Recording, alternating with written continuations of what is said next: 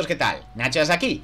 Truco Trato, Scooby-Doo es la última película que me he visto hoy, el 28 de octubre, porque se acaba de estrenar en HBO Max. Y bueno, es las 8 y 20 de la noche, 20-20.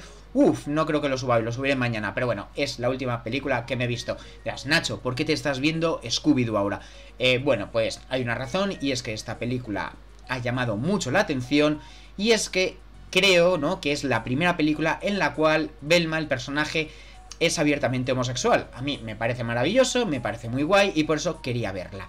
Y bueno, creo que también se va a hacer una serie en HBO también con este personaje, pero, pero sin el resto de la pandilla, lo cual es un poco raro. Eh, pero bueno, a lo mejor cuando salga eh, la serie y si tengo tiempo, pues le echo un vistacillo. Pero bueno, en principio quería ver esta película para decir, vale, a ver, cómo ha salido esto. Y sobre todo, aparte de este detalle, el resto de la película es buena. Pues vamos a verlo.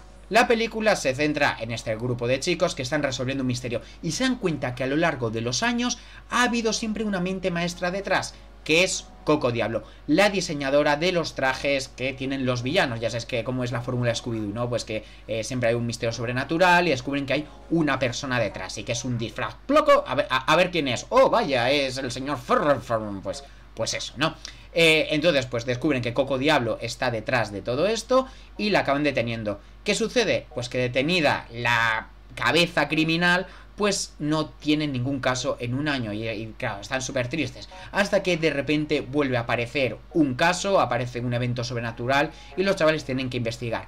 ¿Qué es lo que sucede? Necesitan la ayuda de Coco Diablo, entonces pues se une a ellos para investigar. A ver, la trama es que es Scooby-Doo puro y duro, es decir, aparece un evento sobrenatural, ellos investigan y a saber qué pasa. De hecho, es que me gusta porque, que por lo que entiendo yo, yo no soy un fan de Scooby-Doo, a ver, yo me he visto pues la película de personas cuando era chaval, que no me gustó, eh, también me he visto pues eso, ¿no? Los episodios sueltos cuando los echan de vez en cuando, y bueno, pues ya está. Eh, pero claro, lo que yo sí que veía es que normalmente se diferenciaban en la inmensa mayoría y es que todo esto es gente real, es decir, pues eh, la niebla es hielo seco que echaban y salía niebla, y como volan cables, algo así, ¿no? Entonces siempre era una persona real la que estaba detrás de esto. Pero de vez en cuando meten un evento sobrenatural. Creo que, por ejemplo, fue la primera película, al menos en la que yo lo vi, un evento sobrenatural de verdad. Porque es lo que dices, mira, después de años viendo que estos chavales se enfrentan a seres humanos, quiero ver cómo se enfrentan ante algo verdaderamente sobrenatural. Es un poco esa gracia, ¿no? Entonces, pues yo siempre estaba la película viendo por cuál de las dos vertientes tirarían de ¿es una persona real o es una persona sobrenatural? No lo sabemos. Así que pasemos a hablar de los personajes, porque la trama no tiene mucho más. Shaggy y Scooby son los mismos de siempre, es decir, eh, asustadizos, comilones y están más obsesionados con hacer el truco trato que de resolver el misterio. De hecho, quieren que como van a llegar tarde al truco trato, eh, necesitan pues hacerlo lo más rápido posible. De hecho, esto es una cosa que, bueno, pues que al final, en al último punto de giro, pues como que hacen el gran sacrificio y bueno, pues ahí está, no, o sea, no tiene más. Me ha llamado mucho la atención Fred, porque Fred, bueno, es el líder del equipo, siempre ha sido como la, el líder.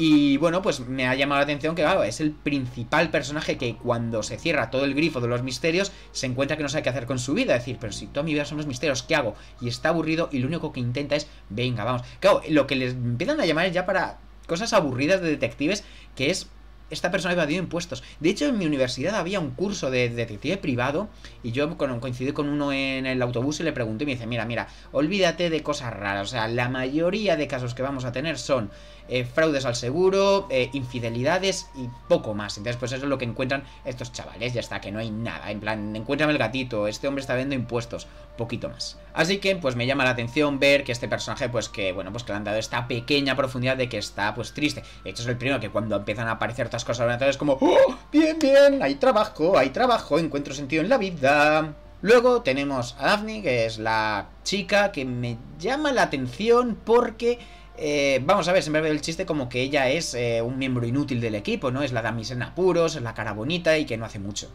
Aunque creo que llegó a tener una serie con Sagi y Scooby. Y, y Belma también llegó a tener una serie con Sagi y Scooby. Eh, la cosa es, bueno, pues que al principio de la película dicen, sí, todos hemos hecho algo, incluso ella que... ¿Qué has hecho exactamente en el caso? Y entonces, pues, como que intenta demostrar que ella también es válida para el equipo y empieza a hacer cosas pero tampoco ha hecho tanta. Yo pensaba que a lo largo de la película iba a ser como más el centro de su aventura, ¿no? El centro de su aventura es demostrar que ella también hace cosas. Bueno, en un momento dado eh, dice un plan, en otro momento pues dice, venga, separémonos, pero no ha sido tal cual. Eh, sí, bueno, también ayuda pues que cuando Belma se enamora, pues que ella le da algunos consejos. Así que vamos con lo interesante, Belma. Eh, como he dicho, ¿no? Pues han puesto que abiertamente es homosexual, me parece fantástico y maravilloso. Eh, ella y Coco, bueno, pues son dos personalidades similares, pero a la vez opuestas. Principalmente, Coco es malvada. Y eso me gusta, eso me gusta eh, porque, bueno, Coco es un personaje que me parece que el diseño está muy guay. Eh, la personalidad es muy fuerte y muy arrolladora. Entonces, claro, se encuentra con Belma, pues que le gusta y entonces, pues, eh, empieza pues a tontear con ella o, al menos intentarlo. Claro, aquí han tirado por una vertiente un poco típica, aunque, bueno, entiendo que todos lo hemos pasado y que para los niños es lo más normal que es, wow, esta chica me gusta, ¿qué hago para impresionarla? Entonces intenta a imitarla y seguir todo lo que ella hace. Pues, por ejemplo, ella dice, wow, los libros son aburridos. Belma dice, sí, son aburridísimos. y Cao, pues Dani dice, sé tú misma, no es buena idea que finja. Porque esta idea de, ah, tengo que agradar todo el rato, así que voy a estar de acuerdo en todo lo que dice. Me parece guay, me parece correcto, sobre todo cuando está destinada para niños. Tampoco vamos a meter un mensaje aquí complejísimo de cómo es el amor. Pero es lo que, bueno, pues que ha tirado un poco por la trama facilonga, ¿no? La trama de decir, bueno, vamos a poner como que intenta todo el rato fingir quién es ella y eso, pues ya está. Me parece guay, me parece guay, solo que ha sido un poco típica, pero entiendo que son si es para niños, pues que tiren por aquí.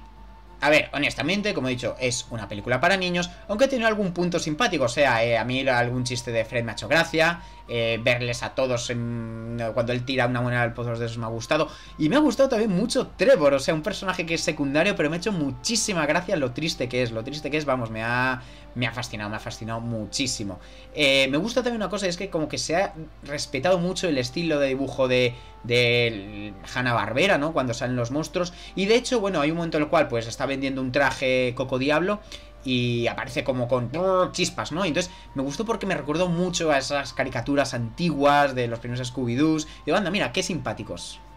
Y bueno, entiendo que también cuando se han encontrado muchos malvados en la cárcel serían de otros casos de hace años. Yo ya no soy tan fan, entiendo que, que si es súper fan, pues dios, hombre, si este es el del caso, no sé qué, pero, pero no ha sido el caso. Eh, pues eso. Y Coco Diablo, pues lo que digo, pues me ha gustado, me ha parecido un personaje bien hecho, con una persona muy marcada, arrollada y sobre todo pues cuando ella tiene el punto de vista de decir, bueno, ¿y qué es el mal? ¿no? Decir, en vez de decir, yo simplemente estoy ayudando a la gente a, pues, solucionar sus problemas. ¿Recomiendo Truco Trato Scooby-Doo? Sí, a ver, está entretenida, está muy entretenida, es perfecta para echarse el rato, a los niños les gustará, imagino, así que pues yo la recomiendo, es que vamos, no, no puedo decir nada, es una película de horita y poco, horita y veinte creo que era, para niños, así que bueno, pues eso, pues si queréis echarle un vistazo, adelante. Espero que os haya gustado y ya sabéis que un like y una suscripción animan siempre, ¿vale? Nos vemos la próxima. Chao, chao.